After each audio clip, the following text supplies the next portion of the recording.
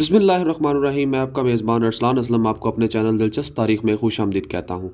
दोस्तों, आज हम बात करने जा रहे हैं ईरान के बहुत ही सूफ़ी शायर की, जिनका नाम है शेख सादी रहमत लेकिन वीडियो में आगे बढ़ने से पहले मेरी आपसे दरख्वास्त है कि हमारे चैनल को सब्सक्राइब कर लें और बेल आइकन को प्रेस कर लें, ताकि हमारी तरफ़ से आने वाली तमाम वीडियोज़ का नोटिफिकेशन आपको बर वक्त मिलता रहे।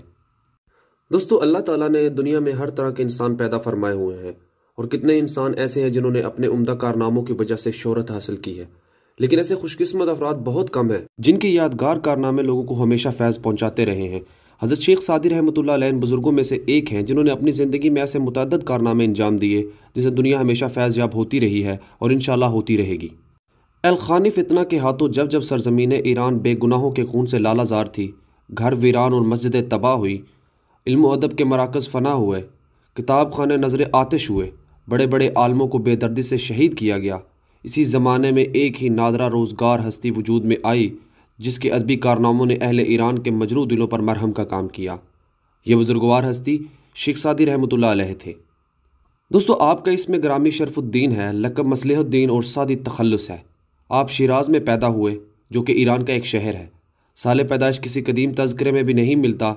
ईरान के एक जदीद सवान निगार कहते हैं कि सादी तकरीबन ग्यारह सौ चौरासी ईस्वी में पैदा हुए। और छः सौ इक्यानवे हिजरी और छः सौ चौरानवे के माबाइन फौत हुए। शेख सादी की सोने लिखने वालों ने कहा है कि शेख ने अपनी ज़िंदगी में चार काम किए। तकरीबन तीस साल तक तालीम हासिल करते रहे। तीस साल सैर सियाहत की, तीस साल तसानीफ की हैं और बकिया ज़िंदगी गोशा नशीनी में गुजारी है। गर्ज शेख सादी ने अपनी ज़िंदगी अच्छे कामों में सर्फ की है। शेख के वालद अब्दुल्ला शिराजी शिराज के हुक्मरान सात जंगी के साथ मुलाजिम थे। चूँकि शेख को बचपन ही से शेर और अदब का शौक़ था इसलिए बचपन से हाकम वक्त की मुनासबत से आपने साद तखलस तजवीज़ फरमा लिया था। दोस्तों, शेख सादी रहमत का ख़ानदान इल्म फ़ज़ल की वजह से बहुत मशहूर था। उनके ख़ानदान के अक्सर अफराद दीन थे। वो अपने एक शेर में ख़ुद फरमाते हैं कि मेरा आलम दीन के ख़ानदान से ताल्लुक़ है। शेख सादी ने इब्तदाई तालीम अपने वालद से हासिल की। लेकिन यह सिलसिला ज़्यादा देर तक कायम न रह सका, क्योंकि आप बचपन ही से पिदरी शफकत से महरूम हो गए। वालद की वफ़ात के बाद आपने शराज के उलमा से इलम हासिल किया और शराज से चलकर बगदाद आए। वहाँ अब्दुलरहमान बिन जोजी मशहूर उस्ताद से फ़कीाना तालीम पाई। दोस्तों, शेख सादी ने जब इस्लामी सल्तनत का बगदाद में जवाल देख लिया और हलाकू खान की बरबरीत और जुल्म ने बगदाद की पुरसकून फ़िज़ा को बर्बाद कर दिया तो शेख ने सैर सियाहत का इरादा किया। आप किसी एक जगह क़याम पर मुतमिन न हो सकते थे। वो इतराफ़ आलम को देखने के आर्जूमंद थे। इसलिए मुतद सफ़र किए। बगदाद से निकलकर शेख सादी ने सैर सियाहत शुरू की और शाम फ़लस्तीन, मक्का मुकरमा एशियाई कूचक और शुमाली अफ्रीका तक हो आए। कहा जाता है कि आपने सियाहत के तवील सफ़र में चौदह हज किए। बूस्तान के बाज़ हकायात से यह भी पता चलता है कि आपने तुर्कस्तान और हिंदुस्तान का भी सफ़र किया। एक अंग्रेज़ सवान निगार लिखता है कि इबन बतूता के अलावा और कोई मशरकी स्याह ऐसा नहीं मिलता जो शेख सादी से सियाहत में आगे हो। अयाम सफ़र में शेख सादी ने बड़ी बड़ी मुसीबतें झेलीं।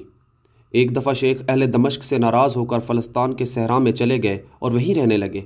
वहाँ ईसाइयों ने शेख सादी को गिरफ़्तार कर लिया। उस वक्त वहाँ शेख के हिफाजती इंतज़ाम के सिलसिले में खंदक की खुदाई का काम हो रहा था, चुनाचे यहूदी कैदियों के साथ शेख को भी खुदाई के काम पर लगा दिया गया। आखिर एक शनासा ने ज़र फिदिया देकर आज़ाद कराया। आपके अशार से ये पता चलता है कि कैद के साथियों ने भी आपकी असलाह नफ्स में मदद दी। दोस्तों, शेख सादी ने ज़िंदगी के तलख हकायक को खंदा पेशानी से बर्दाश्त किया और कभी शिकवा शिकायत से ज़ुबान कलम को आलूदा नहीं किया। कभी कुछ ज़िक्र भी किया तो इस अंदाज से कि पढ़ने वालों को इससे सबक हासिल हो।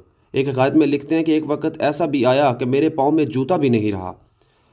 पैसे पास नहीं थे कि जूता खरीद लेता। इसी हालत में जब कोफा में आया तो वहाँ एक शख्स को देखा जिसके पाँव ही नहीं थे। आपने अल्लाह का शुक्र अदा किया कि जूता ना सही, पाँव तो है। सेहत के दौरान आपको जो परेशानियों का सामना हुआ, इससे न सिर्फ़ आपको सब्र तहमुल की क़वत हासिल हुई, बल्कि आपकी तबीयत में गदास भी पैदा हुआ। इस गदास का यह नतीजा था कि आपके कलाम में बहुत असर पाया जाता है, जो पढ़ने वालों को दिलो दिमाग में सहर कर देता है। कलाम ख्वा कितना ही फसी ना हो, जब तक इसमें असर नाला ना हो, दिलो दिमाग को मुतासर नहीं कर सकता। शायद जब खुद नाला करता है तो दूसरों की आँखें नमनाक हो जाती हैं। शेख सादी के इस नाला का ये असर है कि ख्वास ने आपको कलाम का रहनुमा बनाया। अवामुन्नास इससे फैज़याब होते जा रहे हैं और आज 700 साल गुजर जाने के बाद भी आपके कलाम के असर में किसी किस्म का फ़र्क नहीं आया। दोस्तों, सादी के वतन से तवील बाहर रहने की वजह यह भी है कि शिराज और इनके गिरदो नवाह के इलाकों में अमन अमान न था। यह ज़माना मुजफ़रुद्दीन साद बिन जंगी की हुकूमत का था। बारह सौ छत्तीस ईस्वी में साद फौत हुआ तो हुकूमत इसके बेटे मुजफ़रुद्दीन अबू बकर बिन अबू साद बिन जंगी ने संभाली।